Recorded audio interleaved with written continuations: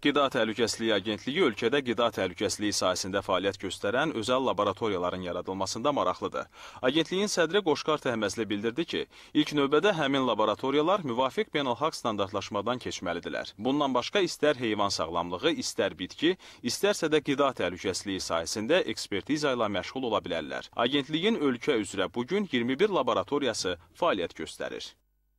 Ötən dövr ərzində agentliyin maddi texniki bazasının formalaşdırılması ilə yanaşı qida təhlükəsizliyi sisteminin vacib komponenti olan laboratoriya infrastrukturu inkişaf etdirilmiş və qısa müddət ərzində Bakıda və regionlarda müasir tələblərə cavab verən qida təhlükəsizliyi, heyvan və bitki sağlamlığı sahəsində ən mürəkkəb analizləri aparmağa imkan verən 21 laboratoriya qurulmuşdur.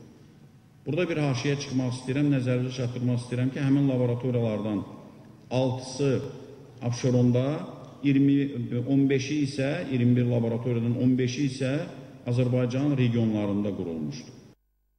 Əmək və Əhalinin Sosial Müdafiəsi naziri Sahil Babayev isə bildirdi ki, nazirlik özünə məşğulluq proqramı çərçivəsində Qida Təhlükəsizliyi Agentliyi ilə əməkdaşlıq edəcək. Onun sözlərinə görə özünə məşğulluq proqramı çərçivəsində əhaliyə verilən aktivlərin 80 faizi məhz heyvandarlıq, araçılıq, bitkiçilik sahələrini əhatə edir.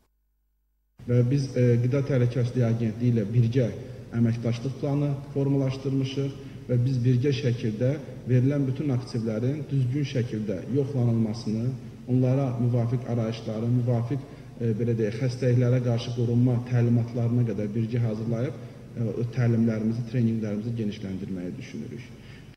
Sahil Babayevin sözlərinə görə tərəflər arasında əməkdaşlıq həmçinin kadr potensialının yaradılmasını da əhatə edəcək. Belə ki, bu sahədə həm peşə təhsili, həm də peşə tədrisi çərçivəsində kadr potensialının genişləndirilməsi sayəsində Dövlət Məşğulluq Xidməti, Əmək və Əhalinin Sosial Müdafiəsi Nazirliyi və Qida Təhlükəsizliyi Agentliyi olaraq həmçinin digər aidiyyatı qurumları cəlb edərək birgə işlər aparılacaq.